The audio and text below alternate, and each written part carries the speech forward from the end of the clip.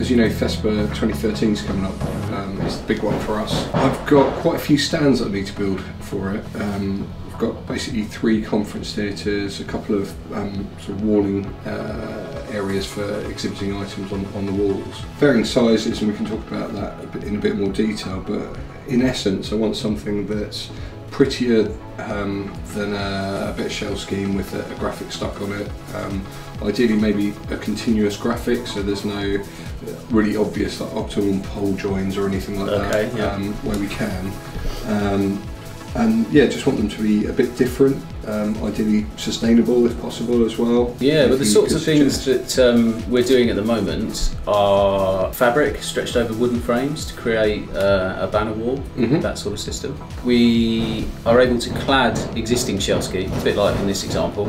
Okay. So individual uh, panels all joining up to create one seamless graphic all the way along the, the, the feature wall. Mm. So that's effective.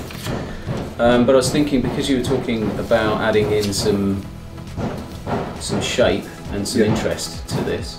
Maybe we could look at doing some of the honeycomb scented boards, um, which we can contour cut. Yeah, definitely. No, that Yeah. looks, looks really nice. And again, if we can connect the, the panels together, we could add some interest with cutting shapes into the board.